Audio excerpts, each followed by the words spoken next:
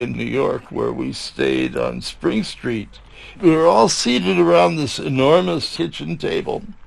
And this guy comes in looking like Allen Ginsberg on a Dick Gregory diet. He says, uh, how would you like to do this music festival in New York State? And we said, uh, we're going to be in the Tesuque Indian Reservation for the summer solstice. He says, uh, that's all right. We'll fly you in in an Astrojet. And we figured, yeah, right. He's one took over the line.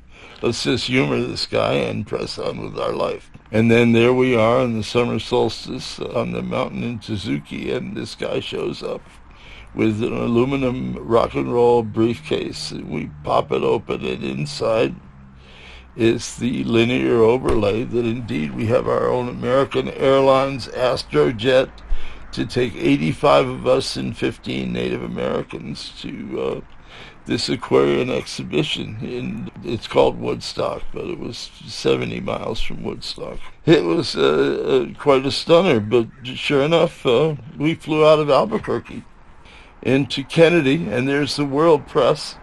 You know, we had arranged with the promoters that we could do a free kitchen so they drove us to Bethel or White Lake or whatever you want to call it, and uh, we had an advance bus.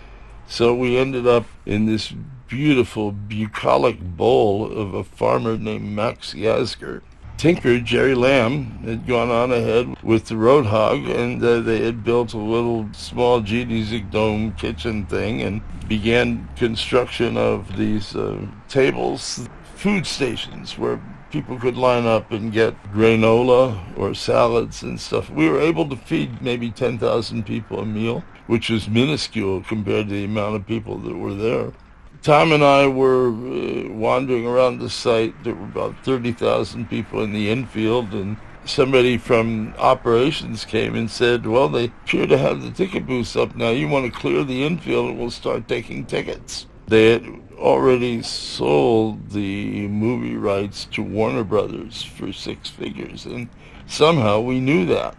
And we looked out and we saw 30,000 people, and we said, do you want a good movie or a bad movie? So they sent word to operations and got back to us in 15 minutes and said, you're right, we're going to make it a free festival, which was a wise decision.